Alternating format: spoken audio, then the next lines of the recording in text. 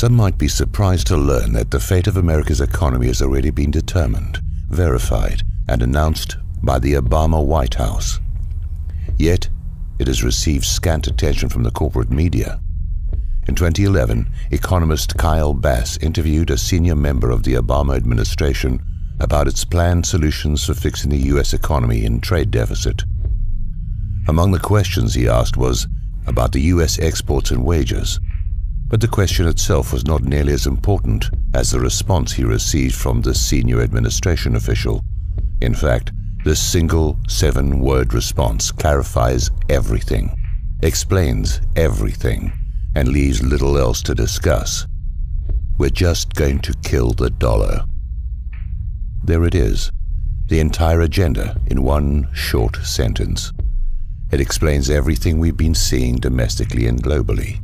That one statement makes every other question irrelevant, or otherwise answers all economic questions and explains everything.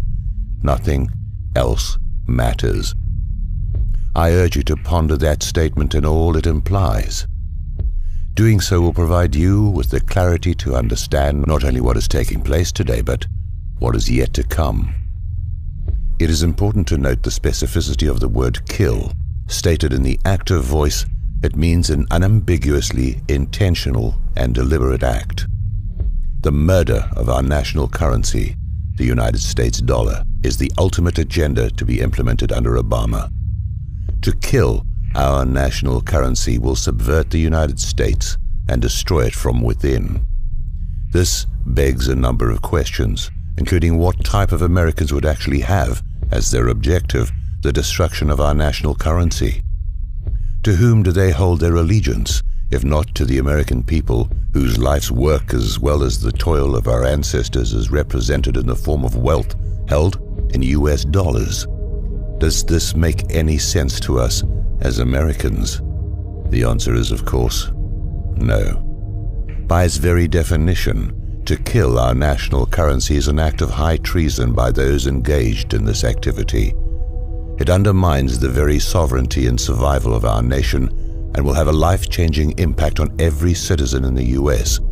It will also impact every nation and the people of every nation on the planet as the US dollar is presently the world's reserve currency, is an act that should result in the filing of criminal charges against the conspirators, a trial of their peers, and if convicted, a death sentence. It's that serious. According to my source, we are past the point of no return. We will not be able to stop what is coming, but must be wise enough to prepare and get out of the way. The murder plot involving the death of the dollar did not begin with Obama, but he and other conspirators have accelerated the plans, plots, and schemes for its demise. The ultimate objective is to implement an international currency in tandem with a system of global governance. The problem is that most people are not thinking large enough, nor do they understand the magnitude of the lie. They're not seeing the larger picture as their focus is diverted elsewhere. For example, they focus on various tentacles of the octopus such as the gun confiscation initiative, the DHS armament acquisitions and economic woes as independent and unrelated events. They are not.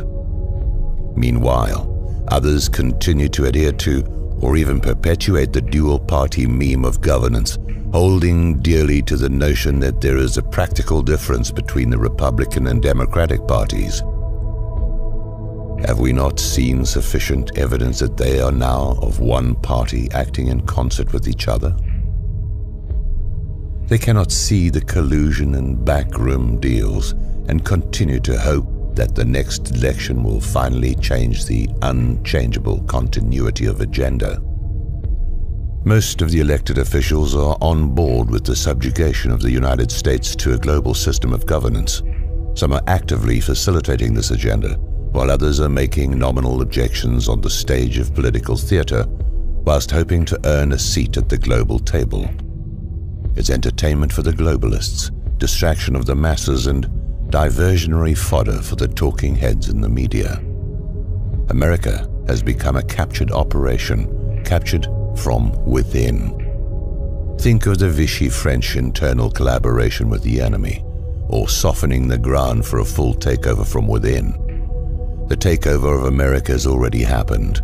The collaborators have already been installed, we are now on a path to complete subjugation of a larger global system of governance. If you continue to doubt this, how else would you explain the numerous examples of our dual-party governmental acquiescence of self-destruction? Those who are pleased about the new record-setting stock market highs and various other manipulated statistics that indicate our economy is improving will be the most vocal critics of this report and who will attempt to discredit the validity of the information offered here. The more intellectually astute will look beyond the statistics offered for mass consumption, not only to identify the deliberately manipulated data, but to understand what is actually driving these false hopes, figures, and data. It is a magic show, and many are still captivated by the magician's many diversions, failing to realize that we are engaged in a global war while being simultaneously hobbled by enemy infiltrators from within. One reason we are seeing new stock market highs is the rush to the dollar from other currencies, especially in the Eurozone. Another reason is the monetization of our debt by the Federal Reserve, despite the previous denials of Ben Bernanke and others. Simply put, the plan by the globalists or the central bankers and those behind them is to create this rush to the US dollar like passengers from a sinking ship to lifeboats. Once the lifeboats are filled to capacity, they will be sunk, and the United States dollar will be completely worthless. As in such a scenario, many will not make it. Many will die from what is coming. The level of evil behind this plan is incomprehensible to the normal human mind. We are at war with Russia. After removing Gaddafi from power in Libya, the Obama-Clinton Black Ops plan was immediately put into action. Benghazi was the logistics hub for arming the anti-Assad terrorists by our own State Department, covert operatives who were shipping millions of tons of weapons to Syria via Turkey and other staging areas. Russia was aware of our actions and through the attack at the CIA Operations Center in Benghazi by proxy forces exposed this operation to the world while putting a stop to this operation. It seems that everyone except the Western media reported what had taken place.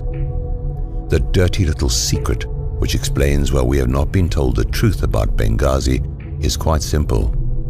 The efforts to overthrow Assad from power are continuing, except the arms and munitions shipments are now originating primarily out of Croatia. Overthrowing Assad would pose a direct threat to Russia, both militarily and economically, are we to expect Russia's Putin to simply accept this without response? No. What is Russia doing to subvert our efforts? Is waging war against America, striking at the weak underbelly of our economy, which is the oil-backed dollar as identified in Michael Reagan's article, Building on a Kernel of Truth. Sadly, the Obama regime is doing nothing to protect us from this asymmetrical war. It's as if they are allowing it to take place. Although it was reported in the New York Times, few have paid attention to last week's meeting between Chinese President Xi Jinping and Russian President Vladimir Putin in Moscow.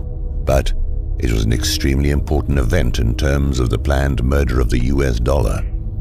An alliance is being forged between Russia and China to replace the US dollar as the reserve currency already severely weakened by the policies of those in power with a gold-backed currency. While reports do exist that cite the hoarding of gold by China and Russia, they are purposely underreporting their collective reserves. Meanwhile, Americans can't even get honest answers to the amounts of our own gold reserves held in Fort Knox or the Federal Reserve. Don't people find this reluctance for audit and inspection a bit curious, if not outright suspicious? The battle is being waged not only by military might, but by a currency war. We are being played through our military involvement in the Middle East, including our covert operations against Syria at the behest of Saudi Arabia. Unlike Iraq, the war in Syria will explode, turn hot, and we will be engaged in an ominous battle that will quickly expand and turn deadly. Weakened militarily through the policies of the Obama regime, coupled with an already weakened economy, the US will suffer consequences unlike anyone might imagine or is willing to address. It is a recipe for disaster, planned and initiated by the global elite behind the central banking system, including those in our own government, who've been set up from within, lied to, and now we're about to see exactly what this globalist system has in store for not only the United States, but every nation of the world. It is critical to understand that the takedown of the US will be the result of an asymmetrical war that includes the weakening of our military, our economy, and a direct assault on our ability to keep the dollar as the world reserve currency and protect the free flow of oil and energy to the United States. Within the last week, China held a surprise naval exercise in the South China Sea. Meanwhile, Russia displayed their resurgent military might in the Black Sea.